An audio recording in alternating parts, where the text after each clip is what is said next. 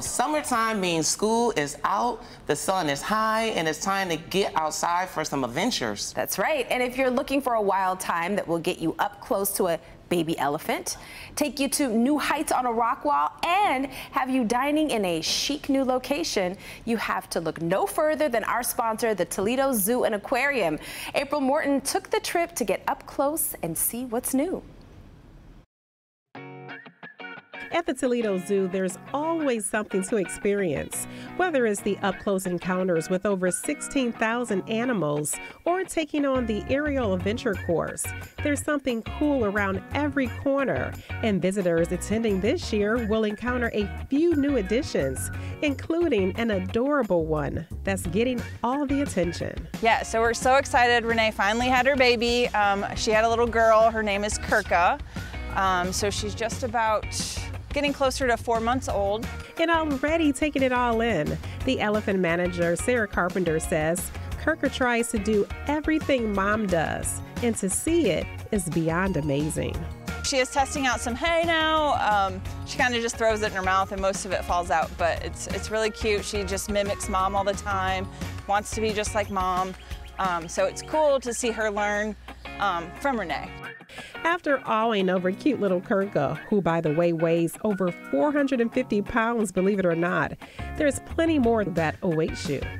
And right now we do have our animal feeding demonstrations and keeper talks and animal shows in Nature's Neighborhood going on throughout zoo grounds. So um, when you come in, you can look at the schedule of events, um, scan the QR code and decide how you want to spend your day, whether it's seeing the sea lion show or an animal meet and greet inside the museum or um, seeing uh, an animal show in Nature's Neighborhood or a keeper talk. Um, it's just a really great interactive way to explore the zoo and get up close and personal with some animal experiences and learn um, the keeper's perspective of how they care for the animals. Director of PR and Communications Jen Brassil says not only do they have a new addition to the animal family, there's something cool for the dining experience.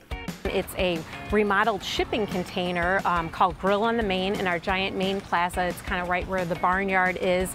And they're serving delicious burgers and pulled pork sandwiches and loaded hot dogs and all kinds of great sides to go with that. So it's really been received well by our visitors. Um, we have plenty of other food options throughout zoo grounds. Our um, food service team does a wonderful job with that.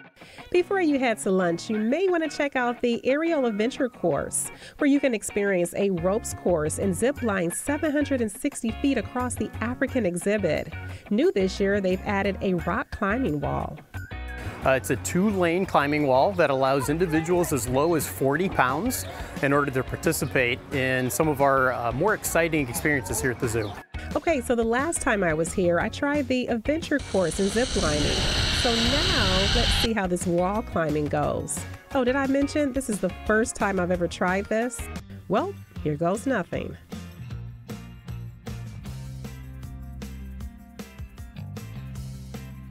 Mission accomplished. It wasn't bad, but I must admit that I did request the easiest lane.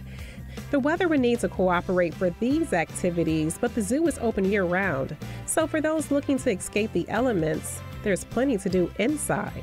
We have our aquarium that I'm not too far from, um, or you can explore our ProMedica Museum of Natural History, which we just redid, and that opened in 2019 with a new revitalized look to it.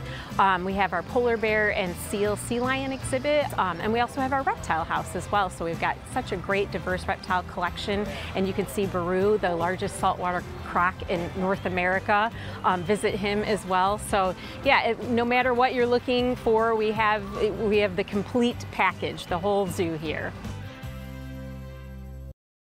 Well, as April said, the zoo is open year round and there are plenty of places to keep you cool when you visit in the summer. To look up hours, event schedules, and to start planning your trip, go ahead and head to the website toledozoo.org. Again, that's toledozoo.org.